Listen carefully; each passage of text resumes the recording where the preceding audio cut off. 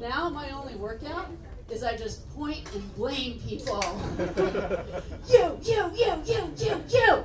I call it calisthenics for Karens. and oh, don't get me started on mansplainers. I'm going to be a Karen right now. And girl, if you don't know what I'm talking about, any man in this room will be happy to explain it to you. Except my husband. He's, he is here tonight. He does not mansplain, okay? He understands how degrading that is towards women and he sympathizes. At least that's how he explained it to me.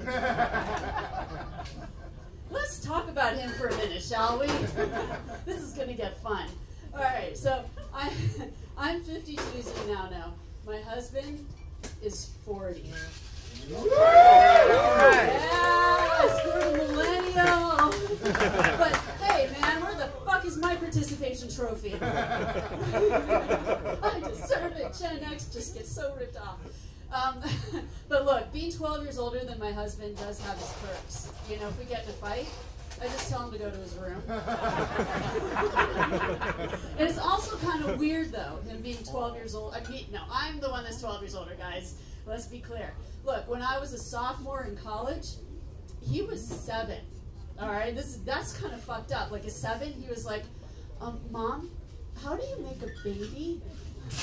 And at 19, I was like, "The condom broke.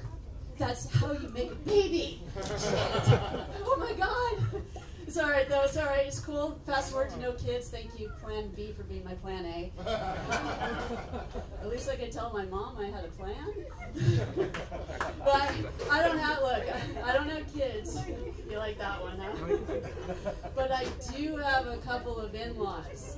Anybody else have those things? No. There was this room like, don't get married. Anyway, I'll tell you a little story about my in-laws. All right, they got me a gift, and I'm only wearing it to make a point. It's right here, guys. Here it comes. Big reveal. It's a holy, sacred, Catholic cross. I'm Jewish. right? Jesus Christ! I mean, I was like, I was like, okay, what would Jesus do? Um, not get me this? You know, I mean, like even little Johnny with Down syndrome knows this is not the time to fuck with Jews. High five, Johnny. Oh my God! But look, I didn't want to seem totally ungrateful for this gift, even though I am. so I sent my in-laws a very nice thank you note and a menorah. Story gets better. They put that menorah on Facebook Marketplace. what?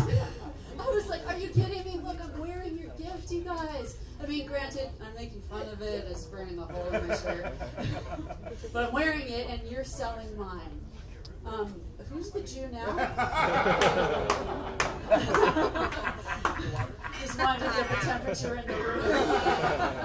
But I'll lighten it up. I'll lighten it up for those who are like, oh shit. Um, my my husband and I, we got a dog. So he's a uh, he's a half German Shepherd, half Pit Bull. So he's a gerbil. Um, we named him Richard Gere. oh, that's a reference from the 1900s. So those of you who laughed are older too. Welcome to my world. Welcome. No, there's a couple things about this dog that I just can't stand. He's cute. He's cute. He's a good boy, but dude walks with his tail up. And he got out one day. I literally spent an hour chasing an asshole. it made me so depressed. It just reminded me of all those drunk nights in my 20s and 30s and 40s. Oh my God, how am I marriage material?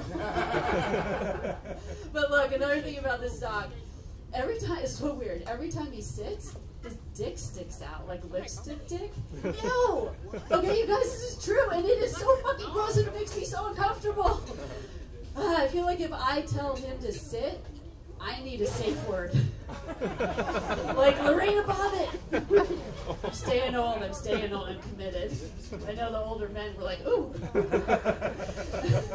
and then look, with that lipstick dick, I'm like, if I'm so afraid, if I say to him, you're a bad dog, he's gonna be like, I am.